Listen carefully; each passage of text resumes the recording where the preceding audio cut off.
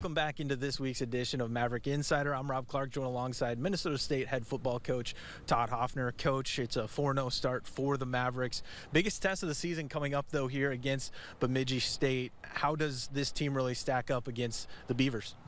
Well, I think it's all about comparing ourselves to the standards that we have for ourselves. And we talk about resistance, how strong the resistance is going to be. And I think you hit the nail on the head. This is the best Bemidji team that I've seen since I've been here uh, since 2008. So, seen a lot of really good teams out of Bemidji, and this is definitely the best one that I've seen defensively when you try to game plan for all the things that Brandon Alt is able to do how do you try to go about slowing him down, and how key is it to you know maybe force a turnover or two up there in Bemidji?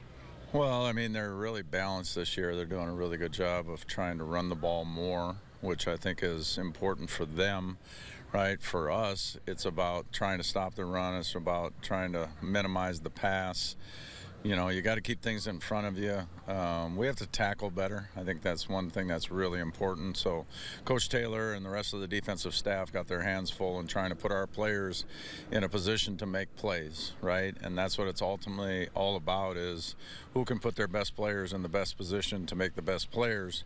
And Mr. Alt is nothing short of exceptional when it comes to quarterback play. So, you know, you can't argue with his talents, his skill set, you know, and then McGath at backup quarterback and his ability to run the football and also throw if he has to is also a nice dual threat type of quarterback. So they definitely have some quality when it comes to their offensive weapons in addition to receivers, running backs, line, you name it. They're they're definitely loaded for bear. Chet Anderson Stadium. How hostile of an environment is that venue? No, it's very hostile. We were up there a few years back for homecoming, and last year we played them in the first game, right, at their place. So we've been there a lot, and, you know, the schedulers are definitely putting us up against it and going back there time and time and time again. And it's tough to go into somebody's house and win, let alone try and win, you know, three times in a row, whatever it may be. But, you know, it's a tough, tough place, right? Uh, Bemidji does a really nice job of promoting their homecoming.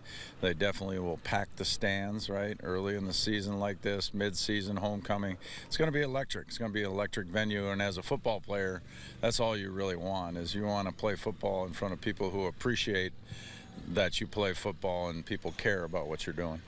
Last question for you, Coach. How do you like where this team has progressed from week one to now heading into week five? I think we've progressed in some areas, and I think we've digressed in others. So, you know, we're, we're only as good as our next snap, and we have to stay on point, right? We have to stay on task, right? We have to stay on schedule. Those things are all important for us to be able to succeed in a hostile environment against a great football team. So, when it comes to our progress, right, um, we'll get a chance to take a look at it on Sunday. But in the meantime, you know, we're going to keep chipping away at the stone, keep trying to get better, and we have to prove that we're a better football team between two and five o'clock. And in the process, we need to plan and prepare, and hopefully, we'll prosper. Mavericks take on Bemidji State at two o'clock at the Chet up in Bemidji, Minnesota. Be there. Thanks so much for joining us on this week's edition of Maverick Insider.